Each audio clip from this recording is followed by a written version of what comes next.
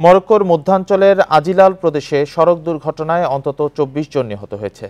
স্থানীয় সময় রোববার সকালে একটি মিনিবাস উল্টে গেলে তাদের মৃত্যু হয়।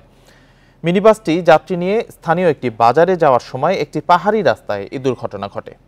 উদ্ধার অভিযান পরিচালনায় ঘটনাস্থলে জরুরি পরিষেবা দল এবং স্থানীয় কর্তৃপক্ষকে পাঠানো হয়েছে। আহতদের চিকিৎসার জন্য পাঠানো হয়েছে হাসপাতালে, তবে কতজন আহত হয়েছে তা নিশ্চিত করা হয়নি। দুর্ঘটনার কারণ জানতে তদন্ত শুরু হয়েছে। উত্তর আফ্রিকার দেশটিতে প্রায়ই সড়ক দুর্ঘটনা ঘটে। দু হাজার বাইশ সালে মরক্কোতে সড়ক দুর্ঘটনায় প্রাণ হারিয়েছেন তিন হাজার দুইশো জন।